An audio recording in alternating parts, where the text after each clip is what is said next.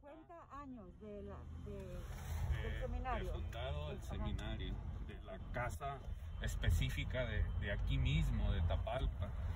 Vamos a convivir con nuestros maestros, nuestros formadores y con los alumnos que están ahí en el seminario.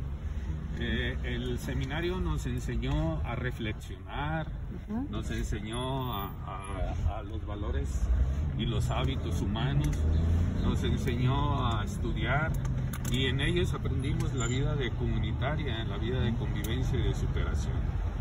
Es para nosotros un gran recuerdo retornar a nuestra alma mater, la que nos educó y la que nos, for- nos formó. Es por eso que hoy venimos al seminario de Tapalpa.